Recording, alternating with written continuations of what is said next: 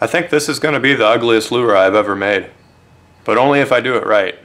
We're going for ugly in this video. Uglier the better. We're going to be making that. It was close. Catfish almost won. But anglerfish won by one vote. Quite a few things I need to decide for this bait.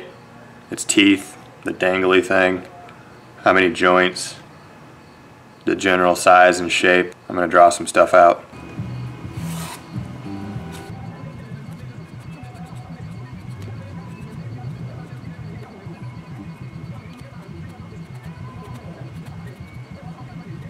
So there is what I came up with. Not exactly a pretty fish, but it looks like it's going to be doable for sure.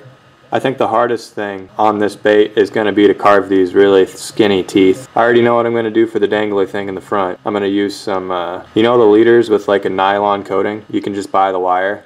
I'm going to get some of that stuff and glue it into the face and then make my own little bright dangly thing up here. Oh, and what I thought was really weird about these fish. They have like these like dot patterns that go all along the body. Like you see those dots, just adds to the creepiness of this fish. But yeah, I'm gonna try to make this look as ugly and scary and weird as possible.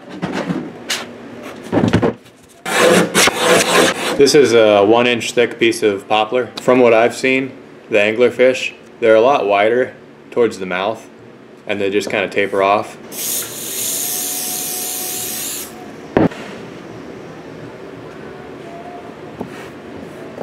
I still have no idea how I'm going to do those teeth, but I'm going to go cut this out.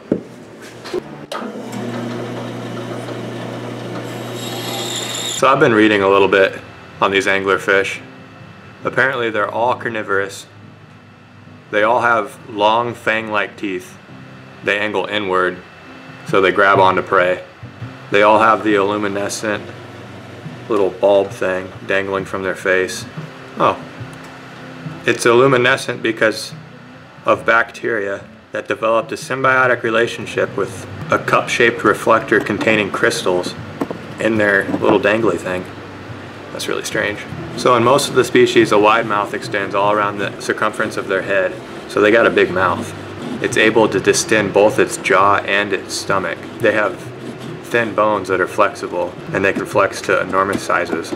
It can swallow prey twice its size. I always thought of them as like the bigger fish that dangles the little thing that attracts the little fish, then it eats it.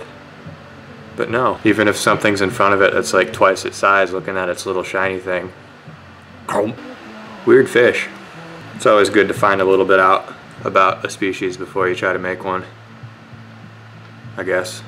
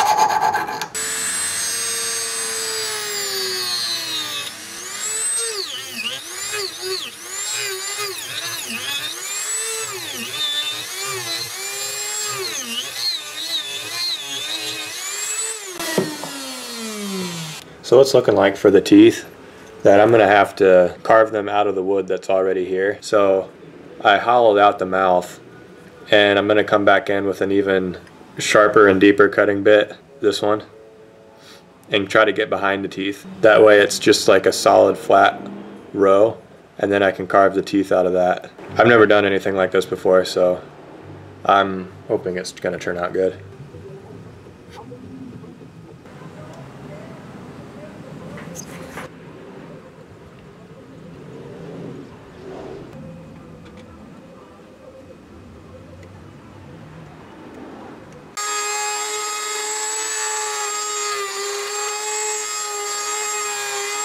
It's not easy to show you guys, but it made a little bit of a lip on the inside, just behind the teeth, or where the teeth will be.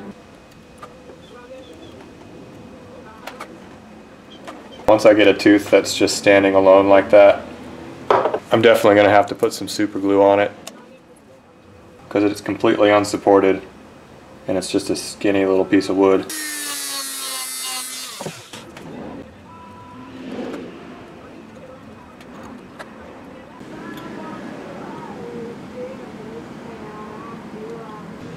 There's the teeth. I wanted them to look pretty jagged and uneven. They turned out alright. I got some cleaning up to do on them still.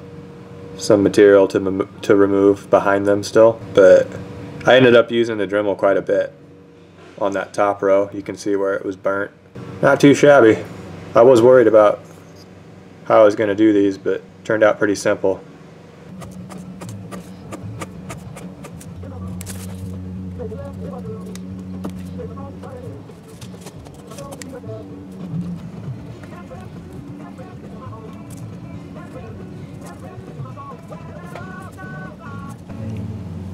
I'm having to look at this like in the mirror reverse and line it up correctly.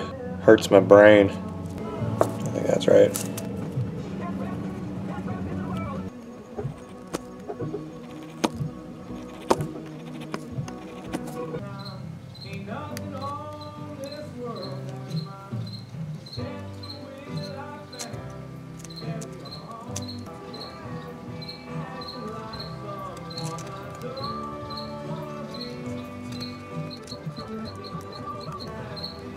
You guys hear that cricket?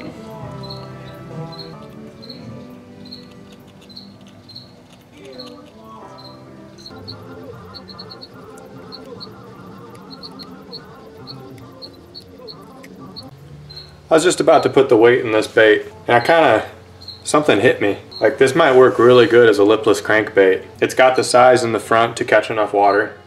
It's got this open mouth that's going to catch even more water I could put the line tie just right between the eyes on the top. I'm going to make this a lipless crankbait.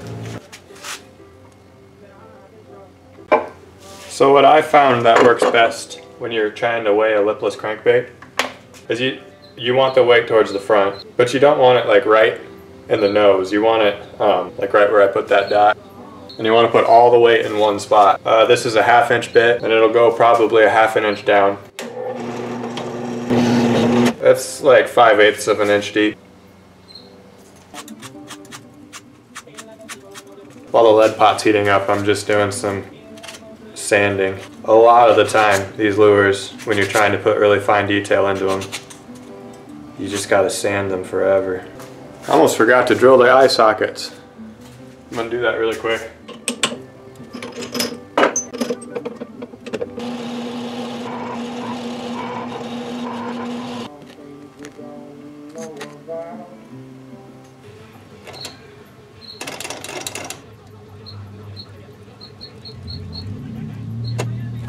Just gotta wait for that to cool off now. Then I'm gonna cover up that lead hole.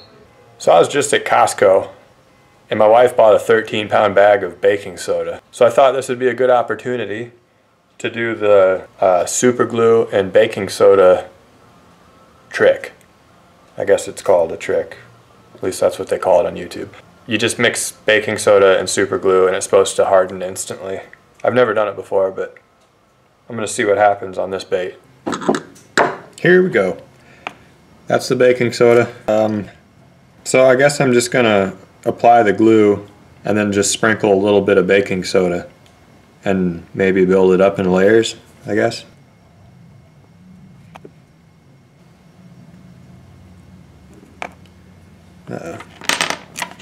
Clumpy.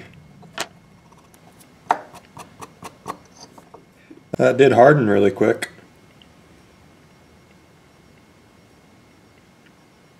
I'm glad I have this really thin super glue too. Seems like it soaks right through it.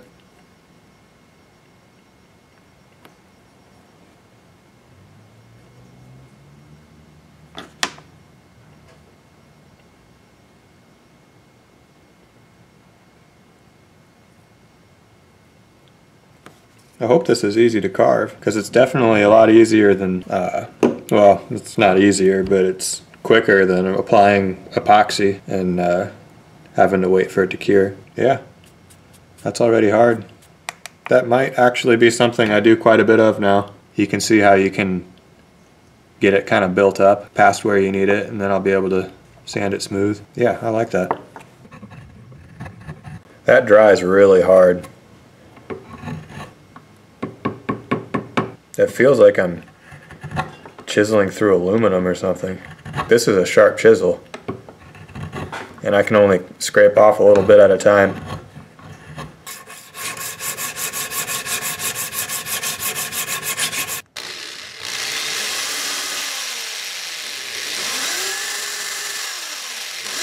I'm going to put some super glue on the threads of all of these screw eyes and screw them in.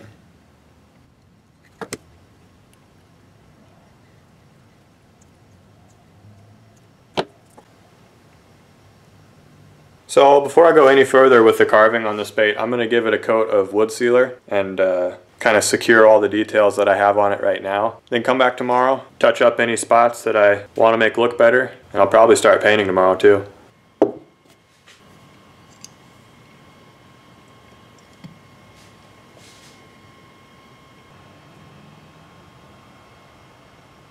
So the last thing I'm going to do to this bait before I paint it is uh, kind of just dot these little lines that go along the body.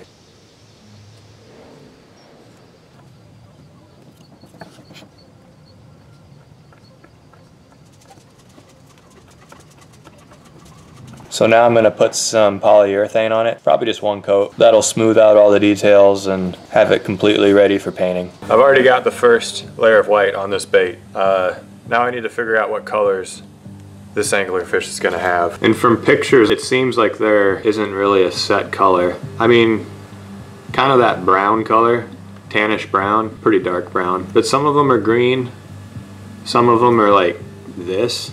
I don't think I'm going to do that. Others are kind of orangish too. So I might do a mixture of colors. We'll see. I think first of all, I'm going to go over some spots with gray to kind of give it some low lights and some highlights. It's a pretty drab and dreary looking fish. Just dark and really there's not much color going on. So now I've got a really thin brown. This is a different kind of airbrush paint that's a lot thinner than the Createx stuff. And I'm gonna go over it really light with the brown. So it's not very realistic or uh, something that you see on these fish, but I think it would look good if I put some iridescent red on it. I, I think the color shift for this stuff, it goes to purple when you turn it a little bit and look at it from a different angle. It's kind of like a pinkish purple. So I don't know. I think it'll look fine. I'm going to do it. So now that that's on, I'm kind of realizing uh, what might look good is for the highlights to be kind of gold. And that way it transitions from like gold, maybe like orangish, because some of these are orange, and then into the red. I'm to try that. Alright, I think that's a good base coat to start with. I'm to start putting some detail paint on it now. And it looks like the first thing I need to do is go in with some pearlized white into each of these lines on the fin. And then I'll do the same thing for the dots on the body.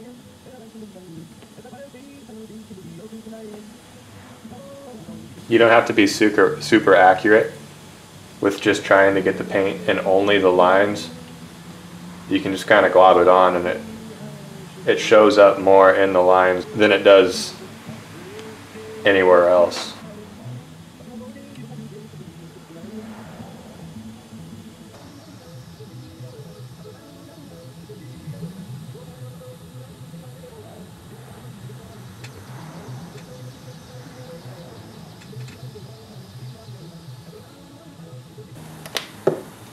So now we've gotta whiten these teeth.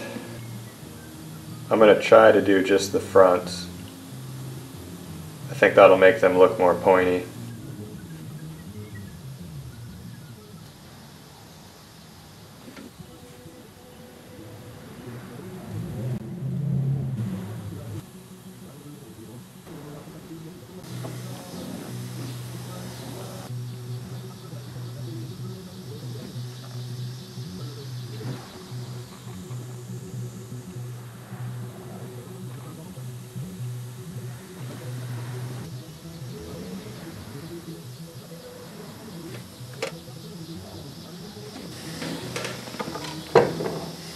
Haven't done a bait with glass eyes in quite a while. I'm gonna give this angler fish uh, tiny white pupils and then I'm gonna, the rest of it, the iris is just gonna be pearlized white, which is more of a translucent color.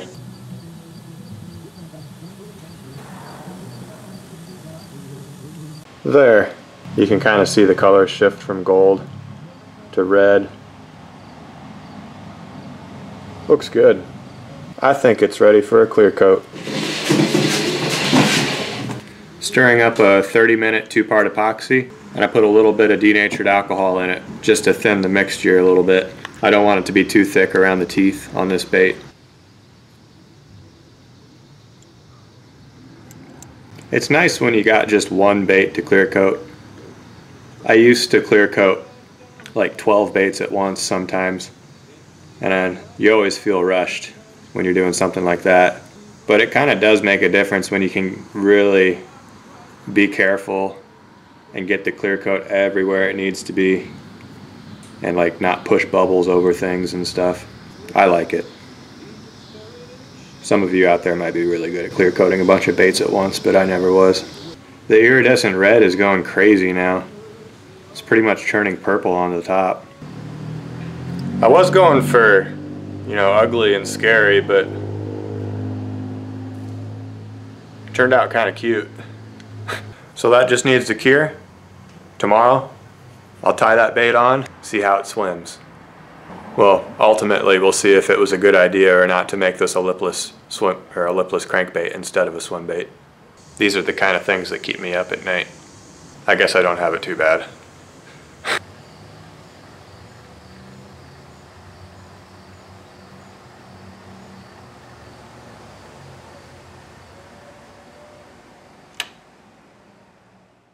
Last thing to do with this angler fish.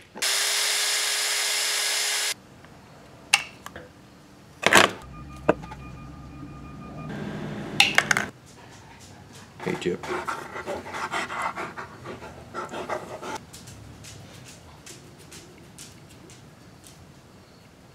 There. There is the finished anglerfish as a lipless crankbait.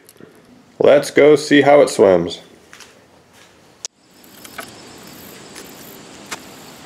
Oh, we're great. End of video.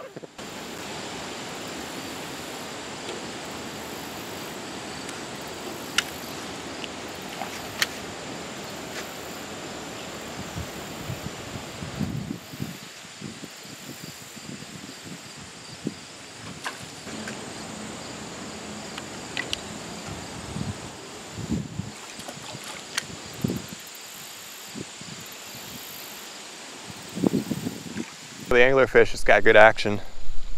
Um, so I'm not going to fish with it in this video. Um, there's going to be a, oh, Chelsea just caught a fish. Oh?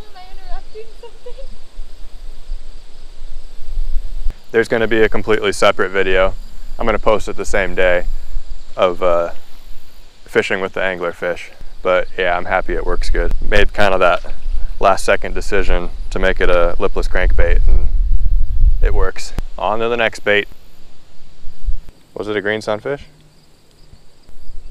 That doesn't count yet.